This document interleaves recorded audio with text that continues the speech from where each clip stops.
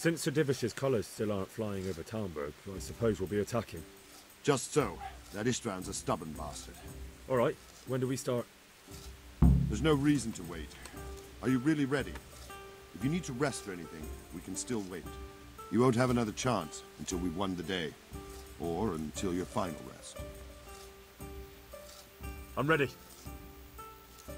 Glad to hear it. We're going to attack on two fronts.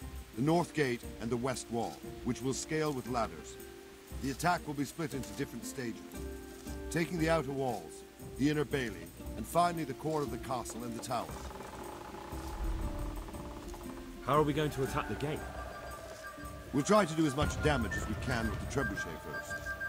Caesar claims he can even hit it directly. Even if that's true, we'll have to charge through a downpour of enemy arrows all the way to the portcullis. Portcullis? Fortunately, it's wooden, so we'll be able to break it down. But dealing with the defense in the bailey won't be easy. And what's the plan for attacking the west wall? First, we have to get men to the wall with ladders, which is no easy matter under fire, so we'll need as many men covering them as possible. As soon as the ladders are in place, our foot soldiers will run up and try to scale the wall. Once a few of them get to the battlements, we should quickly gain the upper hand. How will we take the battlements? Either by scaling the west wall, or our men at the gate will help. If they can break through, that is. And the inner bailey? That will be tough. Even if we get through the gate and into the outer bailey, we're still a long way from victory. The castle is designed so we'll be like hens in a coop to anyone with a bow on the inner battlements. We'll have to either fight our way through, or somehow get around them. What about the living quarters? There, I'm worried most about the hostages. Once we're inside, Istvan will know defeat is inevitable, but we'll still have to fight for each and every room. I think I've heard everything I need to know. Do you want to join the attack on the walls or on the gate? Remember, many of the Skalitz men will follow you. It could make a big difference. I'll help with the attack on the walls. I'm proud of you, Henry. You've changed from an insolent pup into a tough, reliable fighter. And as God is my witness, we will kick those whore sons' arses. A village lad and an old soldier. this man must be shaking in his boots. If he's not shaking, then he doesn't know what he's got coming. Just one last thing, though. No matter how good the plan is, something always gets fucked up. Keep your eyes open and take advantage of every chance. Help your comrades, and don't go rushing in where you're outnumbered. We have to take the castle gradually, one position after another. I'll remember that. Good luck to you, stripling. Good luck to you, old soldier.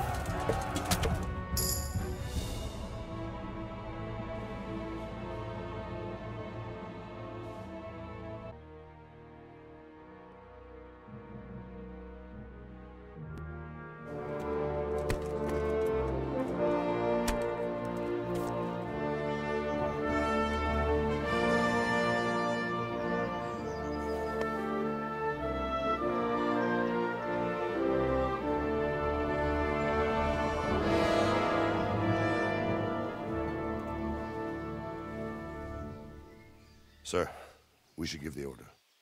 Let's see if Istvan Toth can worm his way out of this one. Don't tempt fate, Hanush. Istvan! It's over!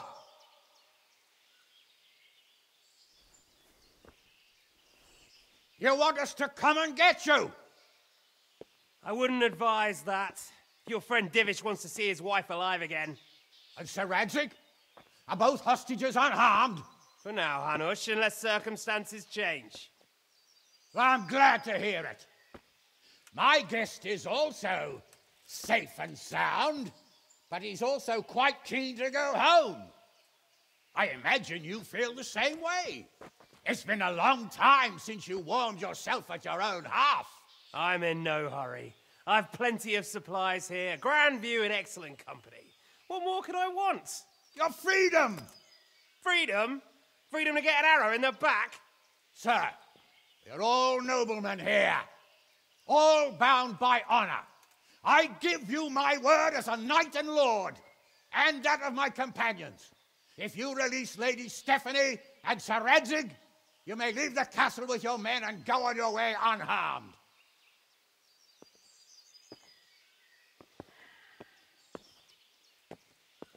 And just how far will we get? What good will it do me if your men attack us in the woods instead of here? If you give me your word of honor that you will leave and never return, I promise you safe passage to the boundary of this fiefdom. What happens after that is up to you and the will of God Almighty. Very well then, but I want a small safeguard. I'll give you her ladyship. But Radzig comes with me. I'll release him in Skalitz. Out of the question! Is our word not good enough for you? Is mine not good enough for you? I swear I'll release him when I get to a safe distance. I'll go with him, Hanush. Let the Lady Stephanie have her freedom now. Father! Don't worry, son. I trust Lord Toth's self-interest more than his word. He wouldn't be fool enough to harm me. If you're certain, Radzig. Prepare horses and supplies, and tell your men to pull back. We'll come down. You heard him. Get to work. And any man who breaks this truce answers to me. So, are you really going to let them go? My word is my bond, Henry. He's a cutthroat and a liar. Good men are dead because of him. What's to stop us from skewering him as soon as he sets foot outside? Our honor. If you let him go, he'll do the same again. Or worse. God's justice will find him. And then he'll get a taste of my mace. If we break our word of honor, we have none. And without honor, we are nothing. Never fear. Your father will be all right. We'll hunt down those vermin yet.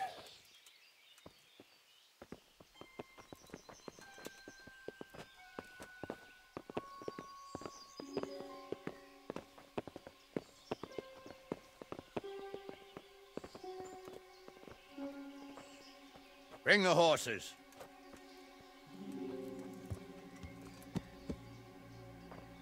Here she is, as I promised. Not a hair on her head harmed. Divish, Stephanie. forgive me, husband. I'm sorry For what? for letting them into the castle.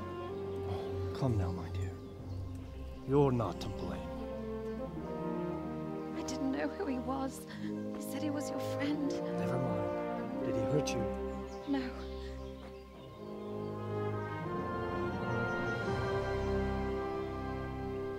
I hope your word can be trusted. Certainly more than yours. If everything goes as agreed, I'll set Radzig free in Skalitz. If anyone tries to follow us, I'll kill him. We won't. My apologies for keeping you from your father, but you'll see each other soon enough. I almost forgot. Your sword. I expect you'll want it back after all the trouble you went to. Actually, you know what? I think I'll keep it. As a memento. This isn't over. I'll find you. I look forward to it. Yeah!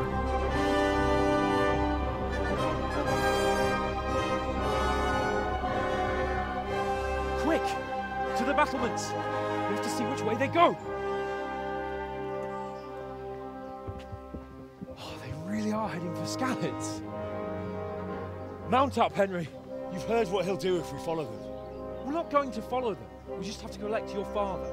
Or do you want him to walk back here when they release him?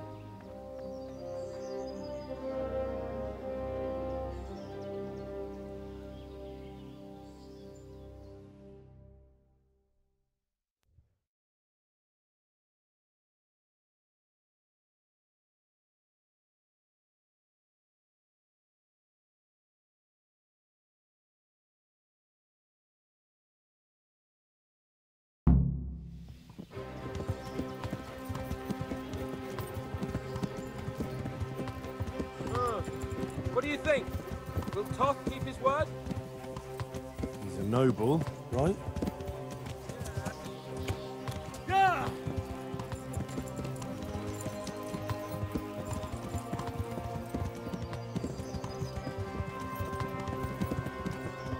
The way you found Toth, sneaking into Vranik all on your own.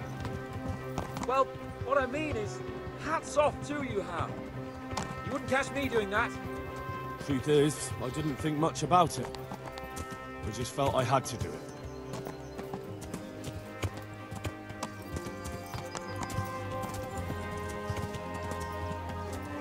What will you do now? Not long ago, I only made plans three days ahead at most. Maybe I really could do something for Rate and his people. Something really big. But there'll be plenty of time for that later.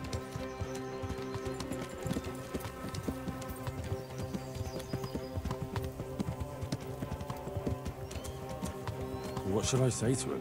Don't worry, it'll come to you. You'll see. Well, I just hope he'll be there. Alive.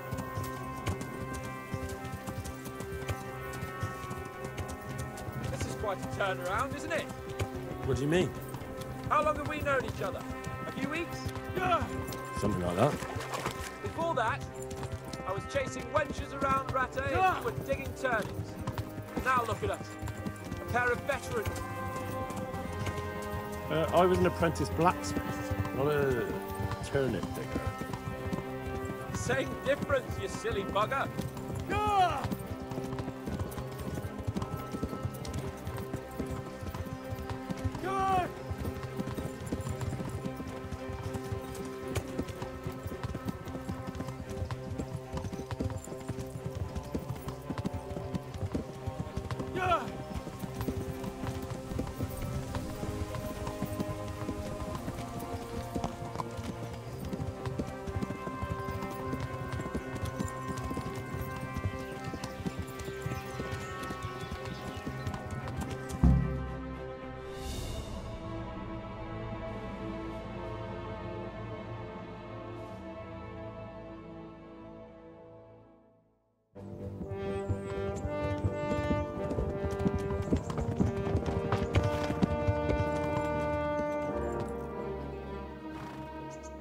There's no sign of them. Move on.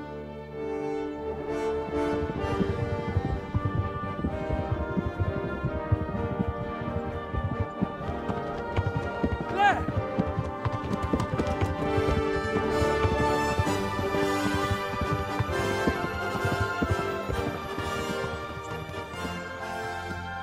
I'm glad to see Istvan kept his word, sir.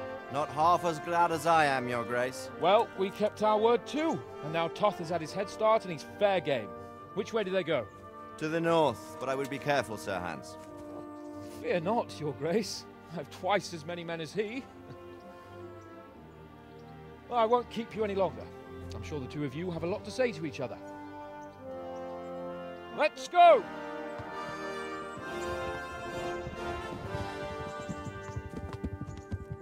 You alright, Father?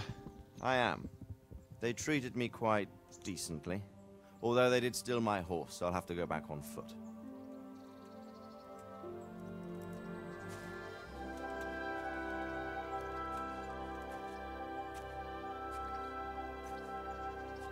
It looks like it's all over.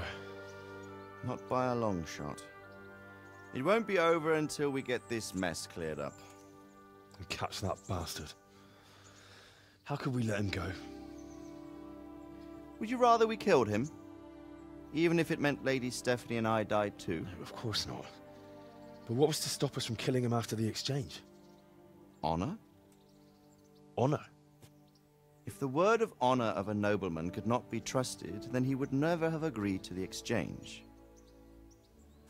And where's the honor in abandoning your son? Hmm. You know how it is. We were young. It happened. And I couldn't marry a commoner. Then your father, I mean Martin, came along and took care of both of you. He knew it. What? That I was your father? Certainly. He was a great man. He took you as his own. And always kept an eye on you. Of that you can be sure. I know so little about his past. He told you nothing. Oddly enough, even though you don't have his blood, you're very like him. When he was around your age, he became bored of his trade and set out to see the world. He lived through many adventures, even fought in a war. In a war? Yes, in Poland, I believe. And I don't think he cared much for it. That's why he wanted me to stay at home.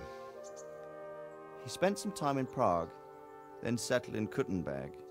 But it seems he quarreled with someone there and finally ended up here. You know the rest. I loved him, but even so, uh, I somehow always had a feeling I didn't quite fit in. It was in your blood, I suppose.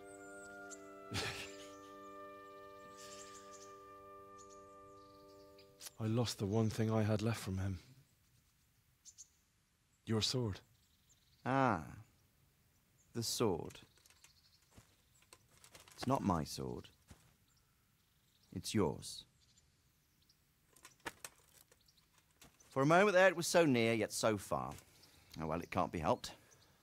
It was almost within my grasp, but just then I had something else on my mind. Well, I think we may yet have a chance to get it back. This business with Toth is not yet over, unfortunately. That's a chance I'd welcome. Not just to get the sword, but that bastard Istvan too. And then I'll find that German whoreson who torched Skalitz, and I'll slay him with it. I'll never forget his face. Or his name. Mark Vart von Aulitz. Those are noble intentions, son. But don't forget there are other things in this world that are worth living for. Like what? Look around you. Blue skies overhead, green grass underfoot, beautiful girls. Good wine, a few good friends, and a fine steed under your backside. Those are things worth living for. Though I can't deny that swine who killed your mother must pay for what he did. It is better not to dwell too much on that at the cost of those other things. On the subject of steeds, I think we'll have to ride like the Knights Templar. How's that? Two up. One day I'll tell you how they got their seal. You can take the front.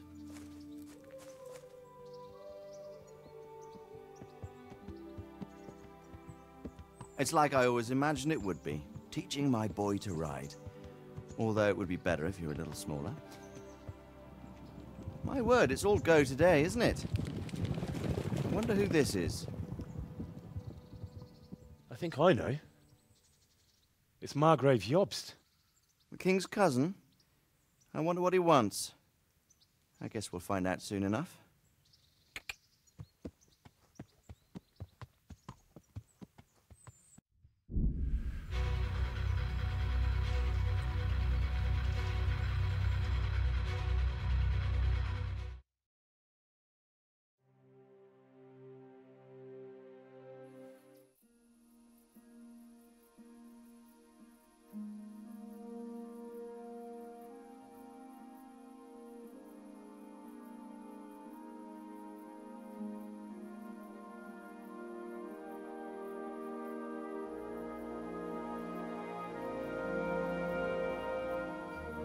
Doing well, son. Father. Come now. You know who sired you. That doesn't matter now.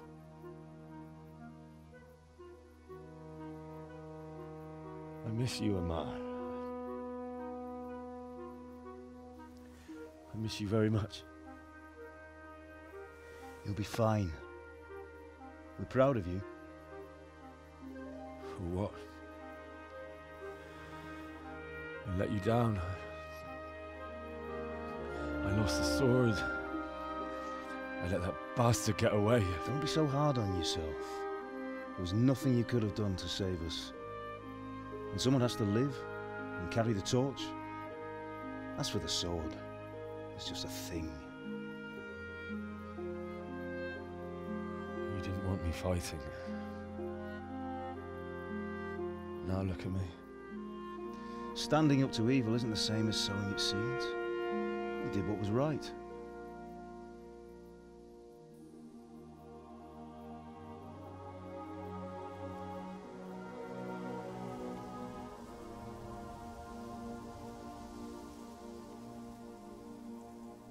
I have to leave you now.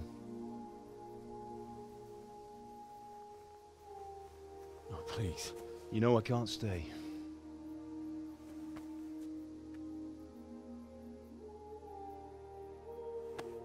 Will I ever see you again? God knows.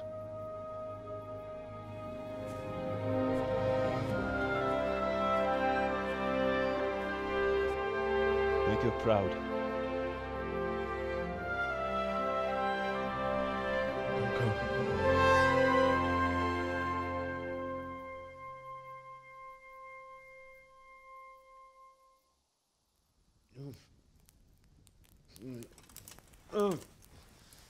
Go. No. What on earth were you dreaming about? I couldn't wake you, and it's well past dawn. Sir Radzig wants you at the upper castle. The lords are in council with Jobst. Right. I'll go straight away.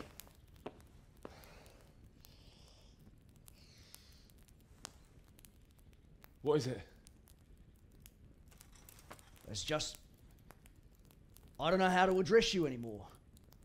All of a sudden, you're Sir Radzig's son, hobnobbing with lords and ladies. And here's me, as common as muck. Oh, give over, you idiot. Do I look like a lord to you? Not really. You're as much a lord as I am a nun, and I've never looked good in a habit. Get out of here! Or I'll have you clapped in the stocks.